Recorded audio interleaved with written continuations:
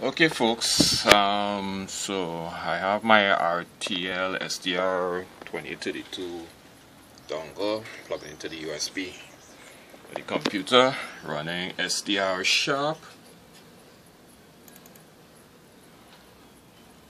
And um, right, SDR Sharp. Start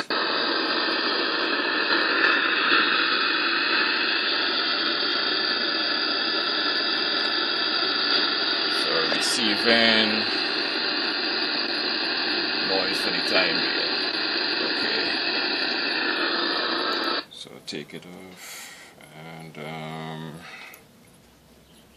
I also have virtual audio cable running here. Virtual audio cable send the audio now to bring up Audacity.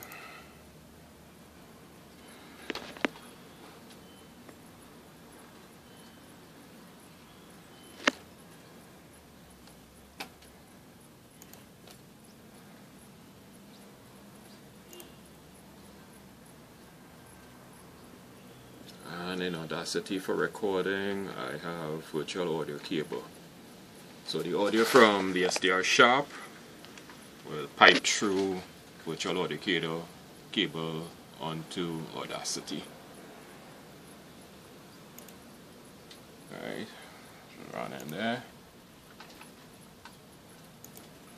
and record. And you can see Audacity is recording the noise from SDR Sharp.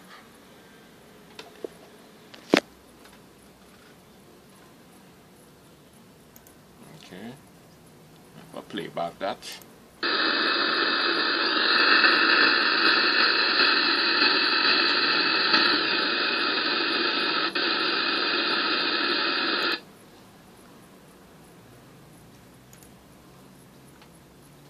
Right, so I can actually save the audio as an MP3 or WAV file or whatever.